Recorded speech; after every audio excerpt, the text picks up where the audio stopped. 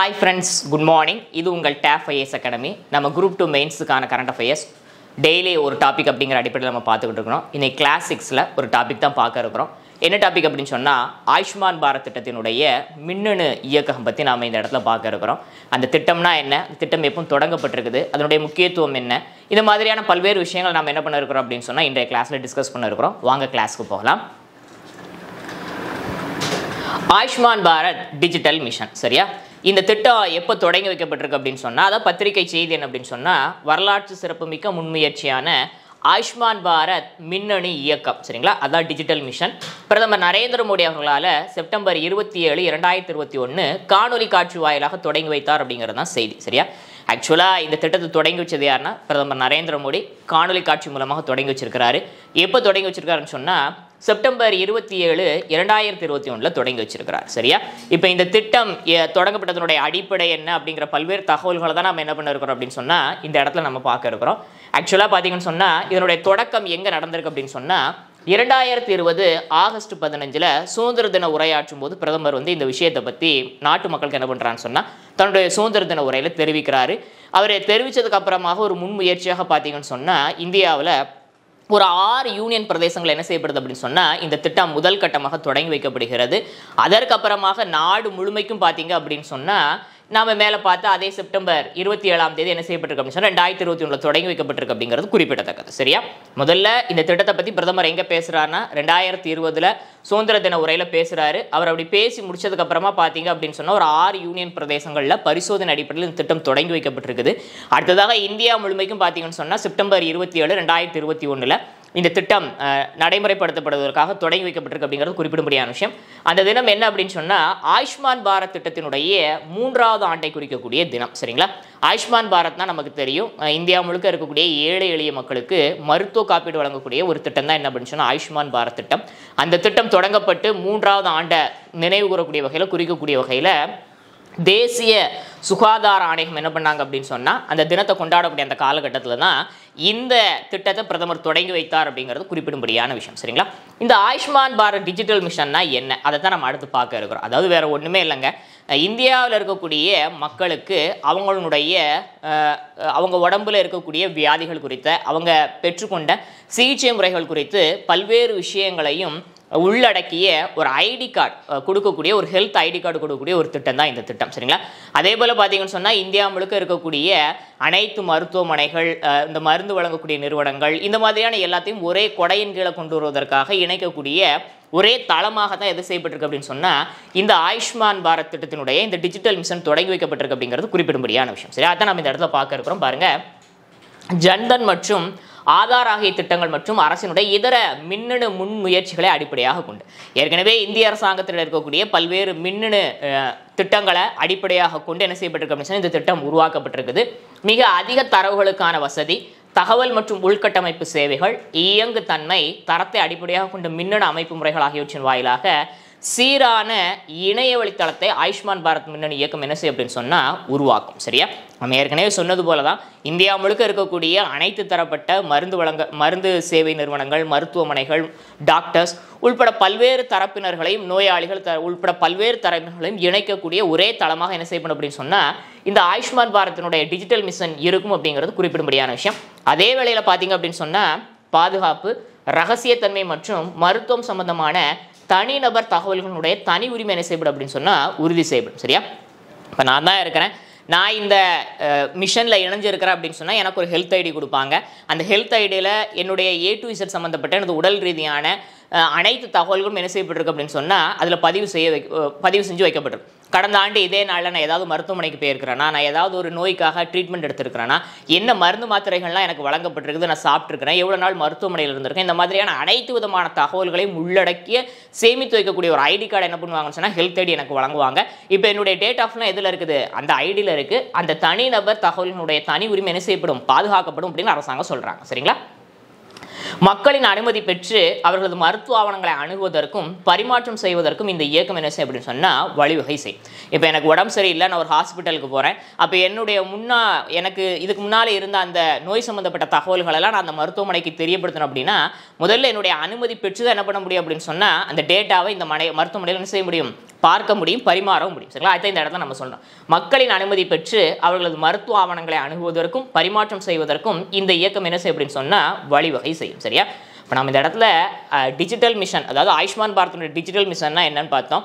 Digital மிஷன்னா வேற ஒன்றுமே கிடையாது.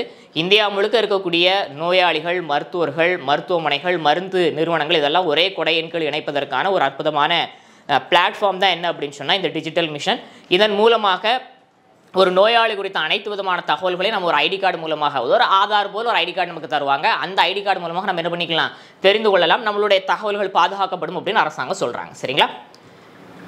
சுகாதார தரவுகள். சரிங்களா? ஆயுஷ்மான் பாரத் டிஜிட்டல் மிஷன் மூலம் மக்களின் சுகாதார தரவுகளை அவர்களின் அனுமதியுடன் பயன்படுத்துவது மட்டுமல்லாமல் இத்துறை அமைப்புகள் மத்தியில் பரிமாற்றம் செய்ய வேண்டும் என்பது முக்கிய இலக்காக உள்ளது. சரிங்களா? அதாவது இந்தியா முழுக்க இருக்கக்கூடிய நோயாளிகளுடைய நிலையை குறித்து அரசாங்கம் தெரிந்து கொள்வதற்காக அது குறித்த தகவல்களை பரிமாற்றம் செய்து கொள்வதற்காக அதை ஒரு நோக்கமாக இலக்காக கொண்டு என்ன செய்யப்பட்டிருக்கு அப்படின்னு சொன்னால் இந்த திட்டம் உருவாக்கப்பட்டிருக்குது. அதாவது சுகாதார தரவுகளை இந்தியா முழுக்க சேகரித்து பாதுகாப்பதற்கான அரசாங்கம் தெரிந்து கொள்வதற்கான பரிமாற்றம் செய்து கொள்வதற்கான ஒரு அமைப்பாக இந்த அமைப்பு இருக்கும் அப்படிங்கிறது குறிப்பிடத்தக்கது. சரிங்களா? அடுத்து ஹெல்த் ஐடி நான் சொன்ன போல பிரதான் மந்திரி ஆயுஷ்மான் பாரத் டிஜிட்டல் மிஷன் மூலம் ஒவ்வொரு குடிமக்களும் பார்த்தீங்கன்னு சொன்னால் ஒரு ஹெல்த் ஐடி கொடுப்பாங்க. அந்த ஹெல்த் ஐடியில் ஃபோர்டீன் டிஜிட்ஸ் நம்பர் ஒன்று அதாவது ஆதாரில் இருக்கிறது மாதிரி ஒரு பதினாலு இலக்க எண் என்னன்னு இந்த ஹெல்த் ஐடியில் இருக்கும். அதன் மூலமாக அந்த நம்மளுடைய அனைத்து விதமான தகவல்களையும் தெரிந்து கொள்ள முடியும். சரிங்களா? இந்த ஹெல்த் ஐடி ஒரு ஹெல்த் அக்கௌண்ட்டாக இயங்கும். எப்படி பேங்க்ல நம்ம பாஸ்புக்கில் ஒரு நம்பர் வச்சிருக்கோமோ அதே போல் ஒரு நம்பர் அந்த பாஸ்புக் நம்பர் மூலமாக எப்படி நம்ம அக்கௌண்ட்டில் இருக்கக்கூடிய பணம் சம்மந்தப்பட்ட பல்வேறு தகவல் நம்மளால் தெரிந்து கொள்ள முடியுமோ அதே போல் இந்த நம்பர் மூலமாக நம்மளுடைய ஹெல்த் சம்மந்தப்பட்ட அனைத்து தகவல்களையும் தெரிந்து கொள்ள முடியும். சரிங்களா? இந்த கணக்கில் ஒருவரின் உடல்நலம் குறித்த தரவுகள் சேமிக்கப்படும். நீங்கள் ஒவ்வொரு தடவையும் ட்ரீட்மெண்ட்டுக்கு போயிட்டு வரும்போது உங்களுடைய டேட்டாஸ் ஃபுல்லாக என்ன செய்யப்படும்? அதில் சேவ் செய்து வைக்கப்படும். மேலும் சேமிக்கப்படும் தரவுகளை நம்ம என்ன பண்ணலாம் அப்படின்னு சொன்னால் மொபைல் ஆப் மூலமாக நம்ம செக் பண்ண முடியும் சரிபார்த்து கொள்ள முடியும் அப்படிங்கிறது குறிப்பிடத்தக்க. சரியா?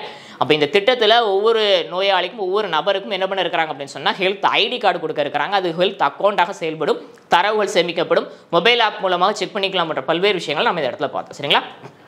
இந்த ஹெல்த் ஐடியை நான் எப்படி சார் பெறுவது அப்படின்னு சொன்னால் டிஜிட்டல் ஹெல்த் மிஷன் திட்டத்தில் சேர விரும்புவோர் NHA dot GOG dot IN slash NDHM அப்படிங்கிற அந்த அதிகாரப்பூர்வ இணையதளத்தில் போய் என்ன பண்ணலாம் அப்படின்னு சொன்னால் பதிவு செஞ்சுக்கலாம். இல்லை அதற்கு உண்டான பிரத்யேகமான மொபைல் ஆப் மூலமாக நம்ம என்ன பண்ணிக்கலாம் அப்படின்னு சொன்னால் நம்ம நம்மளுடைய நேம் அதில் ரெஜிஸ்டர் பண்ணிக்கலாம் அப்படிங்கிறது குறிப்பிட முடியாத விஷயம். அப்படி நம்ம ரெஜிஸ்டர் பண்ணும்போது நமக்கு என்ன பண்ணுவாங்க அப்படின்னு சொன்னால் அந்த பதினாலு இலக்க ஐடி கார்டு என்ன பண்ணுவாங்கன்னா ஹெல்த் ஐடி கொடுப்பாங்க. சரிங்களா? இது ஒரு தகவல் களஞ்சியமாக செயல்பட இருக்குது இந்த ஐடி மேலும் இந்த தரவுகளை மருத்துவ சேவை அளிக்கும் நிறுவனங்கள் ஹெல்த் கேர் ப்ரொஃபஷனல்ஸ் ரெஜிஸ்ட்ரி மற்றும் ஹெல்த் கேர் ஃபெசிலிட்டிஸ் ரெஜிஸ்டர்ஸ் களஞ்சியம் வாயிலாக என்ன பண்ண முடியும் அப்படின்னு சொன்னால் பயன்படுத்த முடியும் அப்படிங்கிறது குறிப்பிடும்படியான விஷயம். அதாவது ஒரு கட்டற்ற கலை களஞ்சியம் போல விக்கிபீடியா நம்ம சொல்லும் இல்லையா? அந்த மாதிரி நம்மளுடைய தரவுகள் தகவல்கள் அனைத்து தரப்பட்ட நபர்களுக்கும் பயன்படக்கூடிய வகையில் நம்மளுடைய முன் அனுமதி பெற்று பயன்படுத்தக்கூடிய வகையில் ஒரு கலை தகவல் களஞ்சியமாக இது செயல்படும் அப்படிங்கிறது குறிப்பிடத்தக்க சரிங்களா? ஒரே தளம். இந்த கட்டமைப்பு மூலம் அனைத்து மருத்துவமனைகள் மற்றும் மருத்துவமனைகள் மருத்துவ சேவை அளிக்கும் அமைப்புகளும் இணைந்து எளிதாக வர்த்தகம் செய்வது மட்டுமல்லாமல் கண்காணிப்பில் வைக்க முடியும் அப்படிங்கிறது குறிப்பிடும்படியான விஷயம். சரியா? அதான் நான் சொல்ல போல நோயாளிகள் மருத்துவர்கள் மருத்துவமனைகள் மருந்து வழங்கக்கூடிய நிறுவனங்கள் சொல்லி அனைவரும் ஒரே தளத்தின் கீழே கொண்டு வந்து அவங்களை கண்காணிக்கவும் முடியும். சம்பந்தப்பட்ட நேரங்களில் வர்த்தகத்தில் ஈடுபடுவதற்கான அந்த வாய்ப்பு இருந்தால் அதுவும் நாம் செய்து கொள்ள முடியும் அப்படிங்கிறது குறிப்பிடத்தக்கது. சரிங்களா? தொழில்நுட்ப ஃப்ரேம் ஒர்க் சரிங்களா? இந்த திட்டத்தின் கீழ் பிஎம் டிஹெச்எம் சாண்ட்பாக்ஸ் உருவாக்கப்பட்டுள்ளது. அதாவது டிஹெச்எம் சாண்ட்பாக்ஸ் அப்படிங்கக்கூடிய ஒரு டிஜிட்டல் அமைப்பு ஒன்று உருவாக்கப்பட்டிருக்குது. இதுதான் இந்த திட்டத்தினுடைய தொழில்நுட்பம் மற்றும் ப்ராடக்ட் டெஸ்டிங்கிற்கு ஃப்ரேம் ஒர்க்காக விளங்கும் சரிங்களா? இதன் மூலம் national digital health ecosystem அமைப்பில் தனியார் அமைப்பு என்ன பண்ண முடியும் அப்படின்னு சொன்னால் பங்கு கொள்ள முடியும் அப்படிங்கிறது குறிப்பிடும்படியான விஷயம் சரிங்களா? அப்போ மிக முக்கியமான ஒரு ப்ராடக்ட் டெஸ்டிங்காக எது செயல்படுது அப்படின்னு சொன்னால் பிஎம் டிஹெச்எம் சாண்ட்பாக்ஸ் செயல்படுது அப்படிங்கிறது குறிப்பிடத்தக்க சரியா? யூபிஐ தளம் போல் ஆயுஷ்மான் பாரத் டிஜிட்டல் மிஷன் சரியா? எப்படி நம்ம இந்தியாவில் வந்து மின்னணு பணப்பரிமாற்றத்திற்காக யூபிஐ செயல்படுகிறதோ அதே போல் மருத்துவ சேவைக்கான ஒரு தளமாக இது செயல்பட இருக்கு அப்படின்னு சொன்னால் இந்த டிஜிட்டல் மிஷன் செயல்பட இருக்குது அப்படிங்கிறதான் குறிப்பிடத்தக்கது. பேமெண்ட் தளத்திற்கு எப்படி யூபிஐ தளம் இருக்கிறதோ அதே போல் தான் பிரதான் மந்திரி ஆயுஷ்மான் பாரத் டிஜிட்டல் மிஷன் திட்டம் இயங்கும். மக்களுக்கும் சரி மருத்துவ சேவைகளை வழங்கும் அமைப்புகளுக்கும் சரி ஒரே தளத்தில் இணைக்கக்கூடிய திட்டமாக என்ன செய்யப்படும் அப்படின்னு சொன்னால் இந்த திட்டம் செயல்படும் அப்படிங்கிறது குறிப்பிடத்தக்கது. இந்த திட்டம் மூலம் அனைவரும் மருத்துவ சேவை எளிதாக பெற முடியும் அப்படிங்கிறதும் குறிப்பிடத்தக்கது. சரியா? ஆக்சுவலாக இந்த மிஷன் இந்த திட்டம் என்ன அப்படின்னு சொன்னால் நான் திரும்ப திரும்ப அது சொல்லக்கூடிய அதே விஷயம் தான் என்ன அப்படின்னா அனைத்து தரப்பட்ட மக்களுக்கும் இந்தியா முழுக்க இருக்கக்கூடிய மக்களுக்கு பார்த்தீங்கன்னு சொன்னால் அவங்களுடைய விருப்பத்தோடு அவங்களுக்கு ஒரு ஹெல்த் ஐடி ஒன்று கொடுப்பாங்க. அந்த ஹெல்த் ஐடியில் அவங்களுடைய நோய் வரலாறு என்ன செய்யப்பட்டிருக்கும் சொன்னால் பதிவு செய்யப்பட்டிருக்கும். புதிதாக நீங்கள் ஒரு ட்ரீட்மெண்ட் எடுத்தீங்கனாலும் அதுவும் பின்னர் என்ன செய்யப்படும் அப்படின்னு சொன்னால் சேர்த்து கொள்ளப்படும். நோயாளிகள் மருத்துவர்கள் மருத்துவமனைகள் மருத்து நிறுவனங்கள் உட்பட அனைவரையும் ஒரே கொடையின் கீழ் இணைக்கக்கூடிய ஒரு தளமாக என்ன செய்யப்படும் அப்படின்னு சொன்னால் இந்த ஆயுஷ்மான் பாரத் டிஜிட்டல் மிஷன் செயல்படும் அப்படிங்கிறதா இங்கே முக்கியமான விஷயம். சரிங்களா? ரைட் இப்போ இதில் எந்த மாதிரி கேள்வி கேட்கலாம் அப்படின்னு சொன்னால் ஆயுஷ்மான் பாரத் டிஜிட்டல் மிஷன் பற்றி குறிப்புரைகள் அதை பற்றி டீட்டெயிலாக எழுதுங்க அப்படின்னு சொல்லி என்ன பண்ணலாம் அப்படின்னு சொன்னால் கேள்வி கேட்பதற்கான வாய்ப்பு இருக்குது சரிங்களா? ரைட் அப்போ நாம் இன்னைக்கு கிளாஸில் பார்த்தீங்க அப்படின்னு சொன்னால் ஆயுஷ்மான் பாரத் டிஜிட்டல் மிஷன் பற்றி நம்ம தெரிஞ்சுக்கிட்டோம். அந்த திட்டம்னா என்ன அது எப்போ தொடங்கப்பட்டு யாரால் தொடங்கி வைக்கப்பட்டிருக்கு அதனுடைய முக்கியத்துவம் என்ன அதனுடைய நோக்கம் என்ன அதனுடைய பயன்பாடுகள் என்ன விஷயங்களை நாம் இந்த கிளாஸில் பார்த்தோம். இந்த வகுப்பு உங்களுக்கு பிரயோஜனமான முறையில் இருந்திருக்கு நான் நினைக்கிறேன். மீண்டும் வேறு ஒரு டாப்பிக்கில் நாளைய தினம் சந்திப்போம். தேங்க்யூ